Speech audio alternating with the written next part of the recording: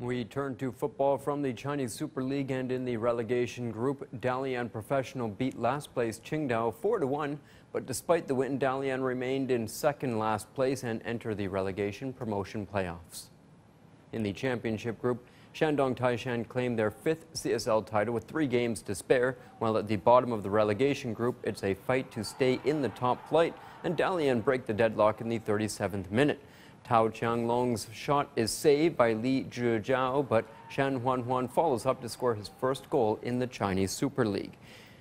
In the 52nd minute, Wang Hao breaks free and pulls one goal back for Qingdao.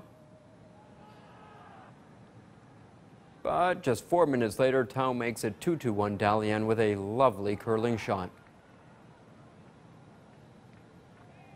In the 69th minute, Qingdao captain Yang Yu goes studs up on Lin Liangming and receives a red card. In the 74th minute, Tao earns a penalty kick and Sam Larsson makes it 3-1 Dalian. Ten minutes after that, Shan scores his second of the game and Dalian win 4-1. But because Chongqing and Tianjin both won their matches, Dalian stay in seventh place on 19 points from 22 games and enter the two-leg relegation promotion playoffs in which they will face China League One's fourth place side Chengdu on January 8th and 12th.